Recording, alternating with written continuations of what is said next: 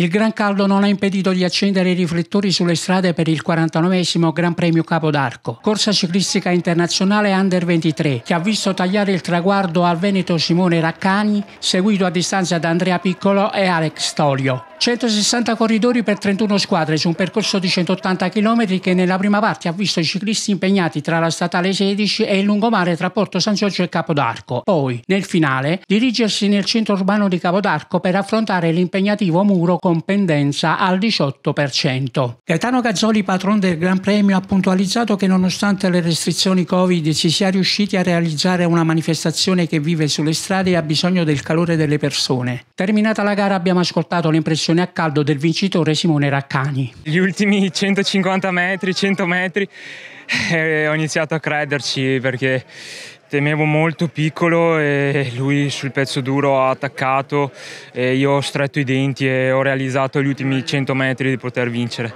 Si parte sempre per vincere dopo quel che viene viene e comunque la mentalità mia e della squadra è che si va alle corse per far bene. E oggi l'abbiamo dimostrato. I tuoi genitori sono qui? I miei genitori sono a casa e purtroppo eh, abitano molto distante eh, da qui e credo che mi hanno seguito sulla diretta. Numerose le autorità presenti, tra cui il prefetto di Fermo Vincenza Filippi, il sindaco di Fermo Paolo Calcinaro e l'assessore allo sport Alberto Maria Scarfini. Tutto è andato bene, l'organizzazione è andata bene e tanta soddisfazione perché ricominciamo a fare quello che ci piace.